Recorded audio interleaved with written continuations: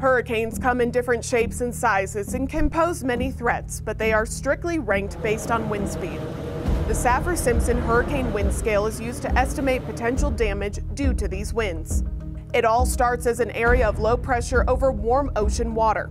Under the right conditions, it can evolve into a tropical storm or hurricane. Tropical storms have maximum sustained winds of 39 to 73 miles per hour. At this point, a tropical system is given a name to better monitor and track its movement. Once winds exceed 74 miles per hour, the storm becomes a hurricane. A Category 1 hurricane packs winds of 74 to 95 miles per hour. These dangerous winds can cause some damage to roofs and siding, and tree branches can be broken. Power outages are also likely. With a Category 2 hurricane, winds will range from 96 to 110 miles per hour.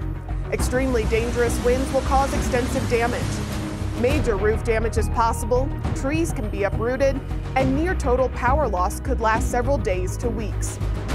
Hurricanes reaching Category 3 and higher are considered major hurricanes because of the potential for significant loss of life and widespread damage. Category 3 hurricane force winds range from 111 to 129 miles per hour. Devastating damage can occur, well-built homes may be damaged. Electricity and water may be unavailable for days to weeks after the storm passes. Catastrophic damage can occur with a Category 4 hurricane. Winds climb to 130 to 156 miles per hour. Well-built homes can sustain severe damage with loss of exterior walls. Residential areas may become isolated. Power outages can last months. A Category 5 hurricane makes the top of the list, coming in with wind speeds 157 miles per hour or greater.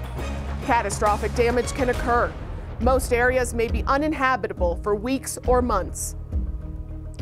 Remember, all storms are unique and bring a variety of threats. Heavy rain, storm surge, coastal and inland flooding, and even tornadoes are just a few additional risks associated with hurricanes. To keep you and your family safe, it's important to listen to all forecast details, not just the expected winds. For Weather Nation, I'm meteorologist Vicki Knapp.